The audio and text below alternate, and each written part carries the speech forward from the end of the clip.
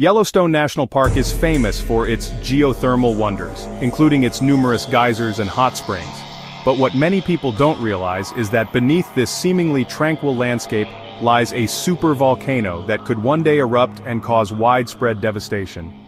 In this video we will explore the hidden danger posed by Yellowstone's volcanoes, and why it's a threat we can't afford to ignore. Yellowstone National Park is located in the northwest corner of the United States, straddling the border between Wyoming, Montana, and Idaho. The park is home to some of the most stunning natural wonders in the world, including the world's largest collection of geysers as well as hot springs, canyons, rivers, and abundant wildlife.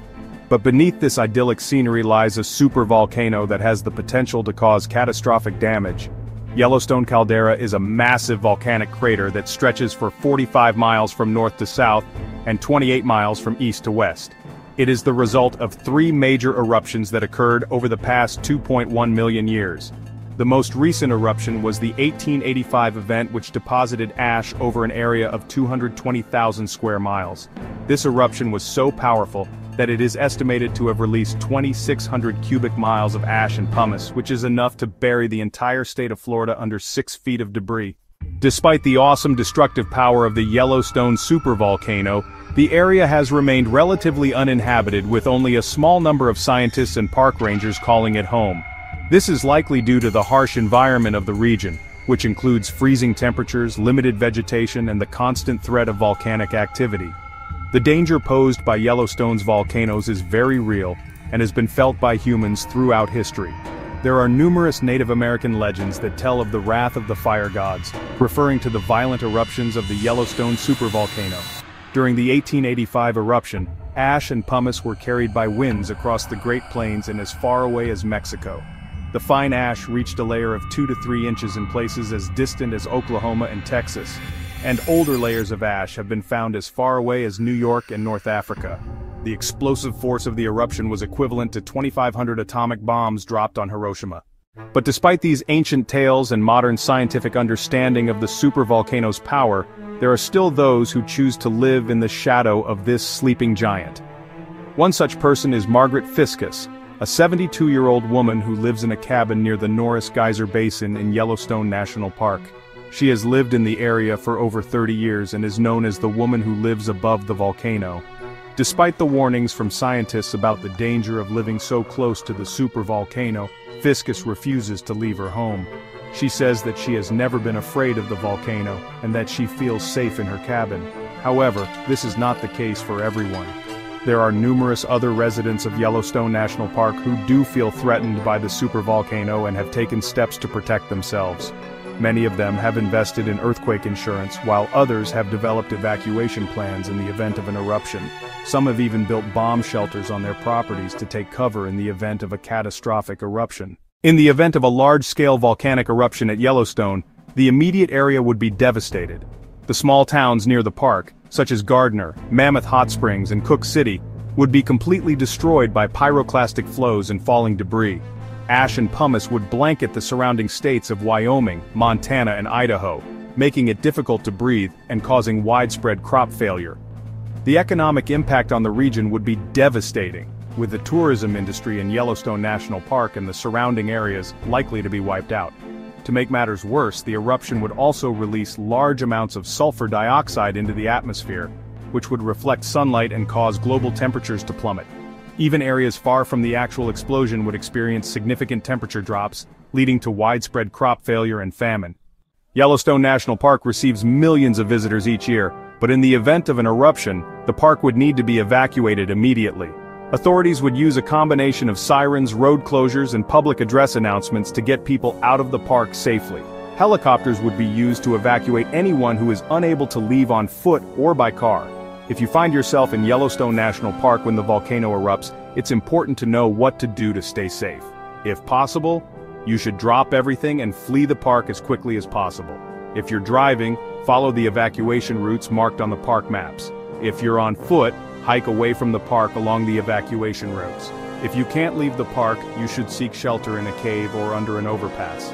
If you're staying in a hotel or other lodging, you should evacuate the building and move to a safer location outside of the immediate area. It's also important to know what not to do in the event of an eruption. Don't try to run away from the advancing lava flow or pyroclastic surge, don't take shelter under trees, as they may be blown down by the force of the eruption. And don't stay in your car if a lava flow or pyroclastic surge is approaching. You should also be prepared for after the eruption. Make sure to bring food and water with you as supplies may be limited or non-existent in the aftermath of an eruption. Be prepared to help others as first responders may not be able to reach you for some time. Yellowstone National Park is home to one of the most active geothermal areas on Earth. The supervolcano beneath the park's surface has the potential to cause catastrophic damage, but fortunately, scientists are constantly monitoring for signs of increased activity. Using a network of seismographs, they are able to detect any changes in the frequency or strength of earthquakes in the region. Any increase in seismic activity could indicate that the magma chamber beneath the volcano is becoming more active leading to a higher risk of eruption, Scientists are also keeping a close eye on the geysers and hot springs in the park. Any changes in their behavior could be an indication of rising magma. For example, an increase in the frequency or intensity of eruptions could suggest that the pressure in the magma chamber is increasing. Similarly, a change in the temperature or chemistry of the geyser water could indicate that it is being heated by the rising magma. In addition to seismic and geothermal monitoring, Scientists are also using remote sensing techniques to monitor changes in the shape of the volcano. Using satellites and aerial photography, they are able to detect any changes in the elevation of the volcano, as well as any new features that may have formed. Any change in the volcano's shape could indicate that magma is moving beneath the surface and could potentially lead to an eruption. One of the most important tools used to monitor Yellowstone's supervolcano is the Yellowstone Volcano Observatory, or YVO. The YVO is a partnership between the United States Geological Survey, Montana State University, and the University of Utah. The observatory scientists use a variety of techniques to monitor the volcano, including the ones mentioned earlier, as well as gas emissions and ground deformation. Despite these monitoring efforts, it's important to note that predicting a volcanic eruption is extremely difficult, and often impossible. Scientists can estimate the probability of an eruption occurring within a certain time frame based on historical data and current monitoring efforts. However they cannot predict when an eruption will actually occur. If an eruption were to occur, there are several things you can do to protect yourself and your loved ones. First, you should make sure that you have a plan in place for how you will evacuate the park in the event of an eruption. You should also make sure that you have a supply of food and water that will last for at least three days. In addition, you should have a battery-powered radio and a flashlight with extra batteries. If you have pets, you should also make sure that you have a plan for them as well. You should also check with your insurance company to make sure that you have adequate coverage in the event of a volcanic eruption. While the threat posed by the Yellowstone supervolcano is real and potentially catastrophic, it's important not to let fear dictate your life. The eruption of this volcano is a rare event that has only occurred three times in the past 2.1 million years. The vast majority of people who visit Yellowstone National Park each year do so without incident. By taking the proper precautions and being aware of the risks, you can enjoy all the beauty and wonder of this amazing national park without having to worry about the danger posed by its slumbering giant. Yellowstone National Park is truly a place of both beauty and danger. While the threat posed by the supervolcano beneath its surface is real and potentially catastrophic, it's important to remember that this is also a place where countless species of plants and animals thrive. From the majestic bison and wolves to the delicate wildflowers and towering trees, Yellowstone is a testament to the resilience and adaptability of life in the face of even the most extreme conditions. As we continue to explore and learn about Yellowstone, we must also remember to respect and protect this fragile ecosystem. The supervolcano beneath the park is a reminder of the immense power of nature and the importance of preserving the wilderness for future generations to enjoy. If you enjoyed this video please like and subscribe for more content. Thank you for watching.